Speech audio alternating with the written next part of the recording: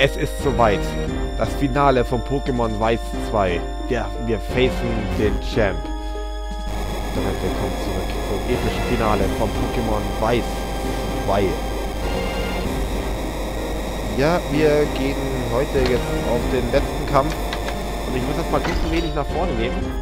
Für den Kampf gegen den Champ, aber ich habe hier schon eine Taktik und mal gut nochmal nachgeguckt gehabt. Der Dragonfly ist ziemlich angekratzt. Kampf gegen Eugene. Ich ganz kurz was gucken. Ne, passt.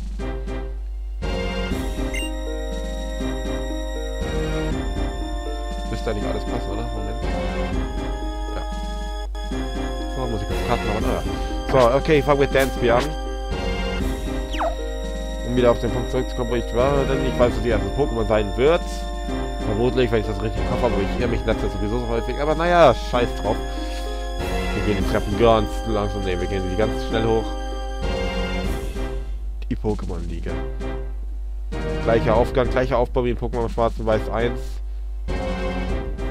Doch, diese Kammer ist ein bisschen anders. Ne, wohl hier ist derselbe Aufgang. Aber ja, hier wartet uns wer anderes. Der Champ ist ein anderer. Willkommen, Herausforderer nicht Lauro, schwarz weiß Einzelfall war. Ich habe dich schon erwartet. Los geht's.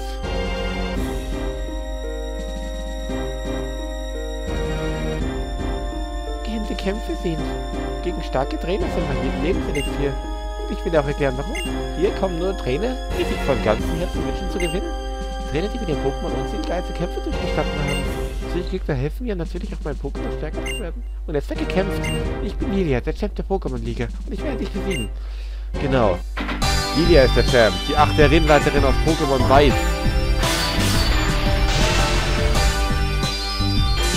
Ich habe ein neues Outfit bekommen, aber die ist glaube ich nicht gealtert. Obwohl doch eine Karte Luftwerk Aber ich finde die Musik cool. Und der Hintergrund ist richtig episch. Sie ist eine Drachentrainerin. Oder zumindest hat die Fahrdrachen-Pokémon. Die fängt an mit Rippe Pfade, Drache, Unlicht. Hier, sind, äh, hier sie effektiv Attacken, vor allem mit Eiskampf und Drache.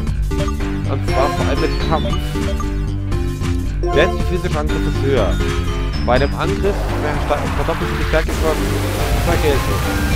Das heißt, nach diesem Drachenpulz wird Vergeltung ordentlich Damage drücken. Dann wird eine Stärke von 140 wegen der sehr, wegen der sehr effektiven. Doppelt Power durch die sehr Effektivität. Nicht nur Hochpower, ich sag, das kostet sehr Effektivität. So.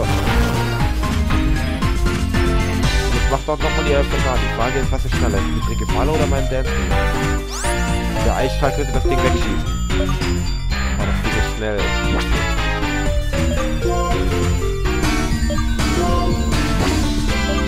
So, erste Notlage gleich zu Beginn. Ich hätte noch Anästhesie ist parat. Wir werden nochmal mit dem Tanky. Ich halte nochmal und guck, was sie macht. Die schießt Drachenboden. Ich muss gucken, ob ich schneller bin, ansonsten muss ich das Ziel herhalten. Er, da bitte kann ich machen. Und Eisstrahl, kommt da schneller, Deadbeat. Nein, Deadbeat! Aber ich hab, oh, das war auch, ich ja nicht günstig zu verpacken, also glaube ich, selbst das nicht überleben. Nein. Leid, Kumpel. Du bist zum Wohl unseres Sieges geopfert. Nein, du kommst ja wieder. Mr. T, und zwar bis jetzt eigentlich absoluter Teamlead, oder Leader in der Liga. Leader in der Liga. Ja, und zwar Durchbruch. Dürfte den Drachenpuls überstehen. Mr. T ist unglaublich denkend, hat sich auch wirklich was aus. Das hat er uns eines anderes Mal bewiesen. Ja, nicht einmal die Hälfte. Also sieht man einfach immer wieder mal, wie stark dieser, das rechts eigentlich ist. Unglaublich Power, unglaublich Power. Besonders auch mit Hochmut, das der Angriff steigt. Das ist die Frage, ist natürlich, was kommt. Shadrago. Nun ist die Frage.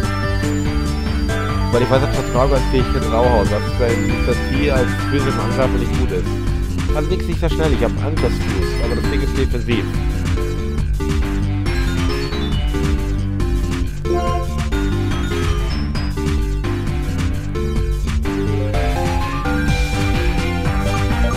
Alles Gründe, Bartholomew als Tank zu wechseln.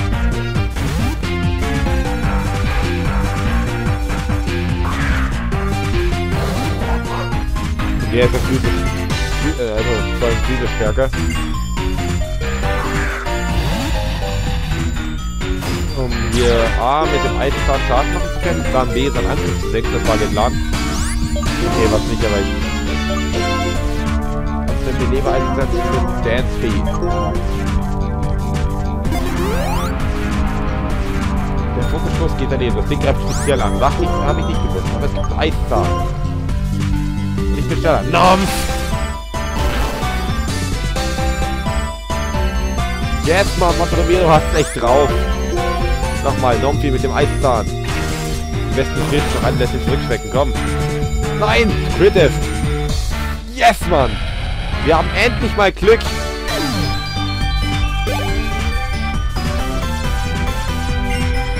das genau, wenn Christian das dann würde sich auf den Arsch beißen. Jetzt sagt er, das müsst ihr, wenn ihr das rausfinden. Stollers. Hier habe ich diesen Pokémon, was vierfach effektiv ist, nämlich Mr. T.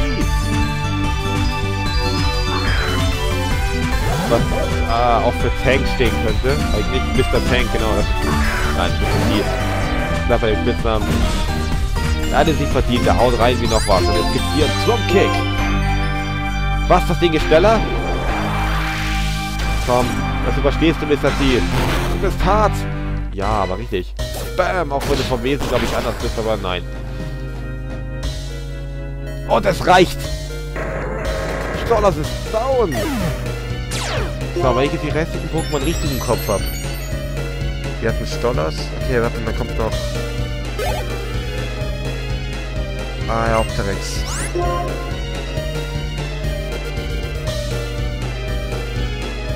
Flash Gordon ist eine blöde Wahl. Das Ding ist verdammt schnell.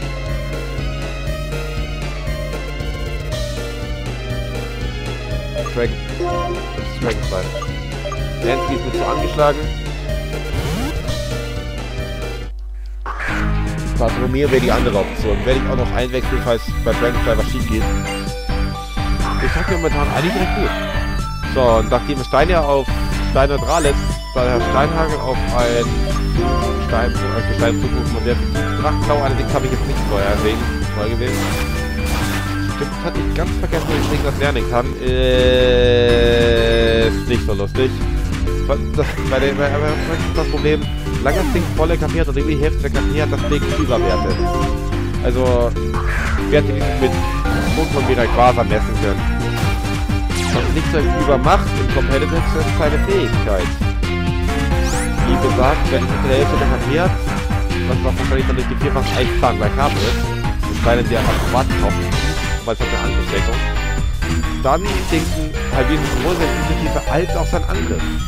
Ist, glaube ich, nur bei der Hälfte. Obwohl ich, glaube ich, jetzt die Akrobatik abkratzen werde.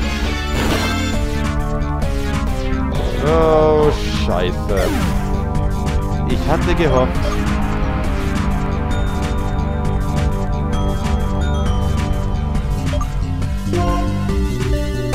Endspiel.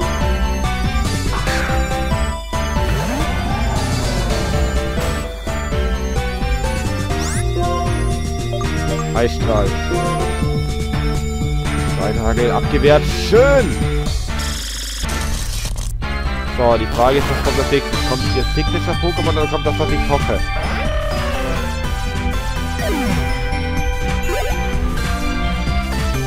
Die schickt das, was ich hoffe. Also, weil ihr Last nicht haben.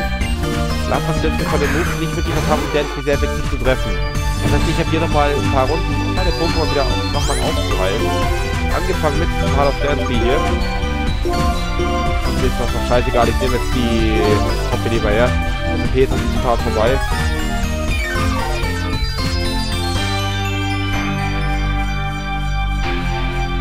Oh, fuck, Donnerblitz.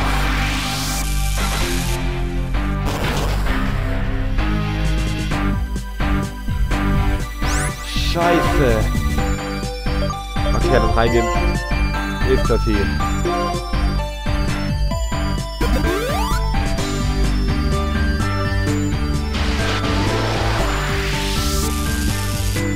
Denn das ist halt ein Wasser-Eis-Pokémon. Das ist sehr effektiv und soweit ich weiß, Lapras ist unglaublich tanky und hält verdammt viel aus.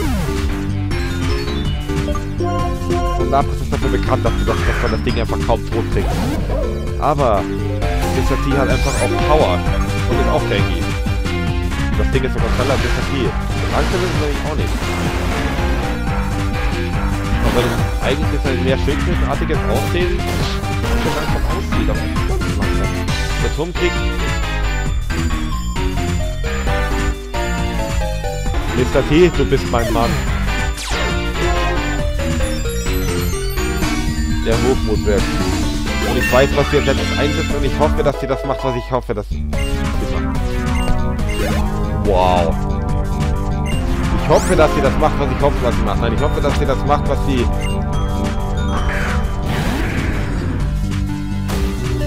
Ja. Anders gesagt, ich mich in ein. Anders gesagt, ich hoffe schlicht und einfach auf den Drachentanz. Und da ist er auch. Und das heißt, es gibt einen Druckkick mit einem Fußangriff, der richtig auf die Fresse hauen wird.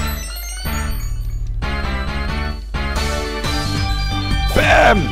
Mr. T hat oft gezeigt, dass das kann. Aber das konnte er leider nicht. So. Allerdings. Durchgriffe reichen sollte das Erdbeben, könnte aber auch ausreichen. Jetzt ist nämlich die Sache. Ich habe ein Pokémon, was das tun kann. Ich habe ein Pokémon, was es vielleicht zeigen könnte. Daigoro. Und ich werde jetzt erstmal nicht heilen, ich werde später von Flash Gordon heilen. Denke auf jeden Fall seinen Angriff. Er ist damit nicht mehr erhöht. Und damit ist das beim Drachentanz einfach mal negiert. So. Und jetzt hoffe ich einfach, dass Turbo-Tempo ausreicht. Daigoro. Zeig mir, was du kannst. Und nein! Scheiße!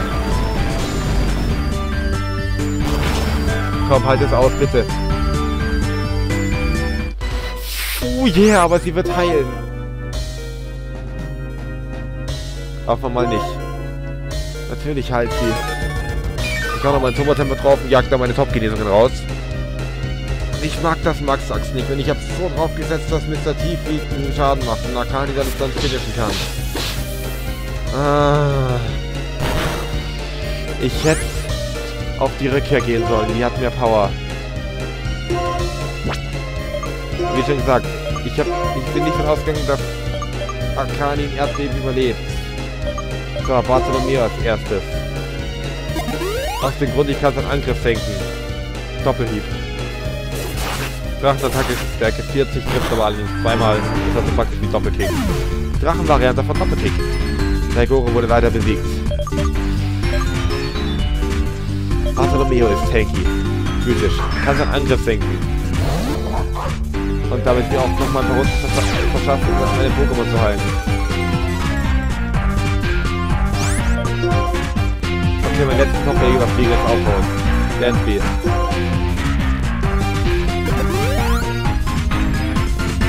kommt das Erdbeben. Sie macht keinen Drachenkampf mehr. Was mich auch wirklich freut, weil das wäre an Seite. So, es macht nur 50 HP Schaden. Das heißt, ich kann mir jetzt einmal Mr. P aufheilen. Natürlich Mr. P. Der muss her. Jetzt kommt der Drachentanz. Ich hab gehabt, dass ich Ich hab vorhin auf den Drachentanz gehofft, weil ich dann noch weiß musste, dass Mr. T überleben wird. Das heißt, der Angriff wird mehr Schaden machen, aber scheiß drauf. Eiszahn! Du bist doch wahnsinnig! Hör auf! Vielleicht, vielleicht drehe ich sie ein. Ich weiß, ich soll, soll nicht auf die Hex vertrauen, aber manchmal muss man das. Ach nee, warte mal. Ihr Angriff ist jetzt erhöht. Eiszahn. Oh Gott, das wird so wehtun. Ich weiß, 50 Schaden voll gemacht. Verdoppelt. Jetzt 100. Äh, zu viel. Ausrichten. Scheiße. Scheiße. Dancy. Das Ding ist physisch, glaube ich, in der Defensive besser. Ist mir jetzt egal. Komm, Eisstrahl. Dieses verdammte Erdbeben. Irgendwann hast du auch keine AP mehr dafür. Das Ding ist mittlerweile viel zu schneller, dass ich irgendwie zuerst angreifen darf. Das heißt, meine Tanks müssen diesen Kampf entscheiden.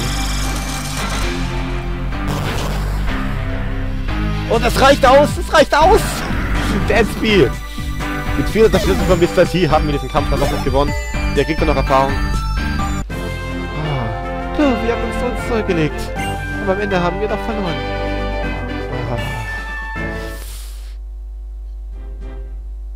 So eine Niederlage ist natürlich nicht leicht wegzustecken. Aber gleichzeitig bin ich auch froh. Und ich will dir erklären, warum. In diesem ungehemmten Kampf sind, sind sich dein Team und mein Team sehr viel näher gekommen. Oh ja, vor allem Mr. Team mit dem Turmkick, ne? BAM! War das ein schlechter Witz. Deswegen bin ich, bin ich nicht so traurig. Jetzt komm mit mir. Auch hier die schöne Sequenz nochmal. Bam.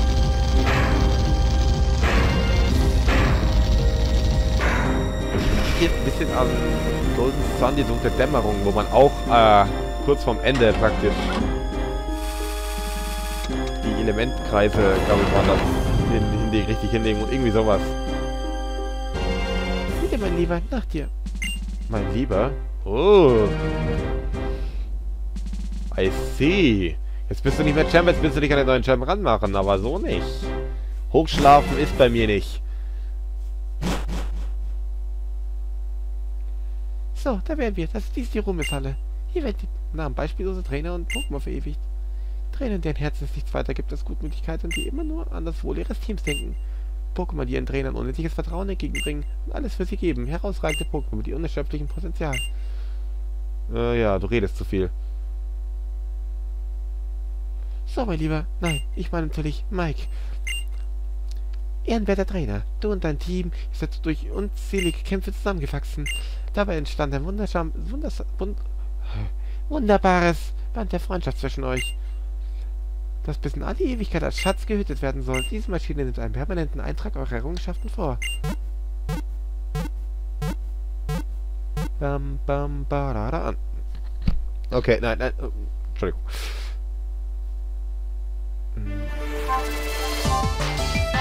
Ruhmeshalle Nummer 1. Dansby, mit dem wir auf unser Abenteuer gestartet haben. Mr. T, der einfach nur reinzwiebelt, wie wir am Ende gesehen haben. Der uns am Ende wirklich alles viel gerettet hat in der Liga. Dragonfly, der mal auf das Team kam. Oder äh, der mich auch sehr überzeugt hat. Akani, generell ein gutes Pokémon. Walter Romeo, der leider nicht so begeistert kann, wie ich es gehofft habe. Haben wir Flash Gordon, der auch ja, viel getan hat. Nein, das hat mich am meisten überrascht. Ich habe gewusst, dass ihr wahrscheinlich Tanky ist, aber das war schon echt krank, wie der abgegangen ist. Ganzes Team, muss ich sagen. Bin nicht gut abgestimmt. Ich habe zwar vielleicht nur gegen Kampf-Pokémon ein bisschen zu wenig, aber mein Gott, man kann nicht eine perfekte Kamera in einem Team haben. Wobei kann man schon, aber es ist ein Durchspielteam. Ist egal. So, das war, damit war es das Ganze von Pokémon, von letzter Pokémon Weiß 2. Den Hilfsmodus hätte ich freigeschaltet, nachdem ich aber das nicht mehr weitermache, der Hilfsmodus Käse ist. Nein. So, mein Fazit. Natürlich habe ich wieder nichts aufgeschrieben. Äh, ja. Jetzt sollten jetzt mal die Credits kommen.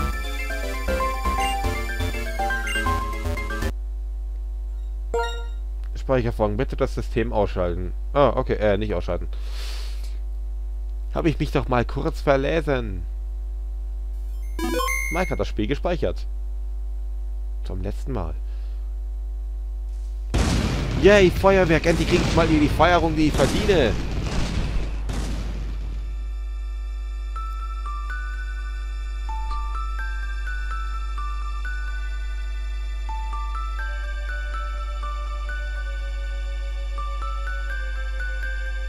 Und hier nochmal die Top 4. Esther, Katlea, Anissa und Eugen. Das heißt, das heißt Eugene. Ah ja, ich meine Eugene. Natürlich. Hier nochmal die gesamte Pokémon-Liga in V-Formation. Pokémon Weiß Edition 2. Das war's. Bis eigentlich die Credits kommen. Das sind sie auch schon. Director Takao Uno. Uno.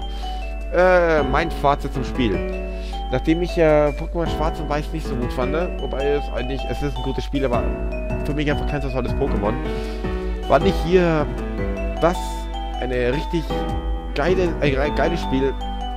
Ich finde sogar hier und die Credits stehen, wie wir da mal praktisch das ganze Abenteuer zurückwärts erleben. Könnte mal ein bisschen mit reingucken. Äh, die Story technisch, Story technisch fand ich sogar noch ein Tick besser. in Schwarz und Weiß war es auch nicht schlecht. Man hat dann einfach den Kampf zwischen Wahrheit und Wirk äh, Wunsch und Wirklichkeit gehabt, aber zu Team Plasma-lastig im ersten Teil. Hat man hier behoben, es ist auch ein bisschen Team Plasma, aber es ist mir nicht mehr so krass, dass man immer und immer wieder gegen Team Plasma kämpft. Bis nach der Liga, das war einfach zu viel. Okay, aber bevor ich jetzt anfange, über Schwarz und Weiß schlecht zu reden, sagen wir, dass mal Schwarz Weiß gut, Schwarz Weiß 2 gut war. Man hat viele Pokémon, man hat eine riesen Auswahl. Das war auch eine Sache, die ich einfach als Manko fand in Schwarz und Weiß 1. Nur die neuen Pokémon. Man hatte zwar viele neue Pokémon, was auch schön war, aber dann nur neu nehmen konnte, war irgendwie so zwanghaft. Das müsste man sie nehmen. Hier hat man eine riesen Auswahl an Pokémon. Und das hat richtig gefallen. Man kann sich ein richtig schön tolles Team zusammenbasteln. Vor allem, zumal man wirklich jetzt nicht so den Drang verspürt hat, die neuen Pokémon zu nehmen, da man die ja bereits kannte aus dem Vorgänger. Irgendwie direkt nach der Vorgänger vorbei, dass er hier ein gutes Spiel hat. Man hat nochmal schön ein paar neue Sachen reingebracht, die man also verändern konnte. Der Kampffahren hat mir dann wieder gefehlt. Allerdings gibt es hier nochmal, würde, kommt hier nochmal viel nach, also viel Content nach der Liga, auch wenn man das nicht geht, tut mir leid. Ähm, genau, Storytelling war super. Man hat eine riesen Pokémon-Vielfalt, man hat einfach viel. Man sieht ja, man kann sich am Anfang viel Feuer-Pokémon, man kann sich konzentrieren, wo man den Vulkaner gefangen hat. Magby fangen. Und für die Pokémon, genau, wo wir es gerade sehen. Finde ich eine richtig tolle Sache, einfach mal nochmal sowas.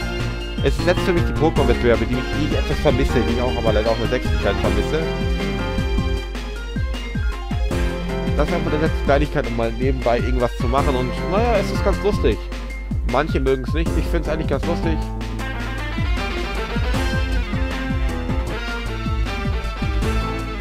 Manche Arenaleiter haben auch ein Rework bekommen, das hat zum Beispiel auch hier, äh, wie heißt sie? Der vierte Arenaleiter auf jeden Fall, das war das Model. Mir fällt der Name nicht mehr ein. Auf jeden Fall hat jedes Rework auch nicht gut getan. Sieht noch besser aus in schwarz und weiß.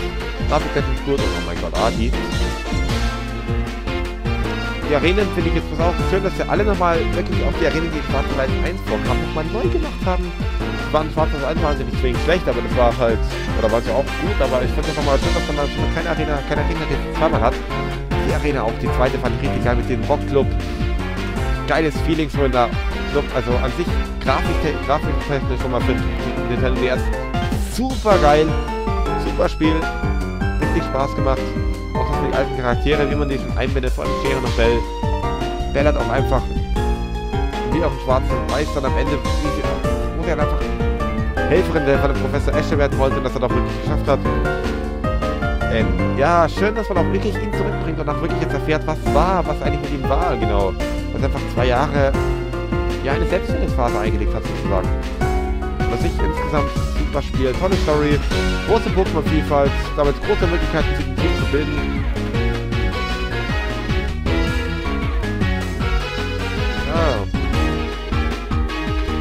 Die Liga haben sie gleich gelassen, allerdings aber auch alte Pokémon 1 Wort. Leider, das ist einfach das Manko, was ich finde. Die Top 4. Warum 4 Pokémon statt 5?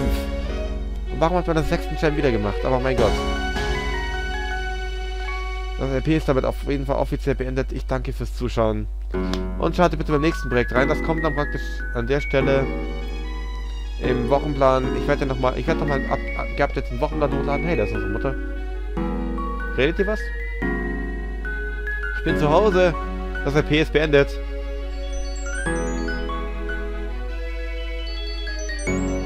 Äh, auf jeden Fall das neue Projekt. Ich verrate es noch nicht. Ihr werdet das auf jeden Fall sehen. Kommt es dann praktisch statt Pokémon im Wochenplan. Und fuck yeah, wir haben es wir durch. Also die Story. Und dann also praktisch bis zum nächsten Projekt. Ende. Danke fürs Zuschauen in diesem Projekt. Ich weiß, es hat lang gedauert, hat sich lang gezogen. Jetzt ist der Wochenplan, Uploadplan da. Wenn irgendwas damit ist, kriegt er eine Meldung. Oh, die Musik ist ja schön. Ist noch ein bisschen mit der Musik. Und bis zum nächsten Mal, Leute. Bis dann.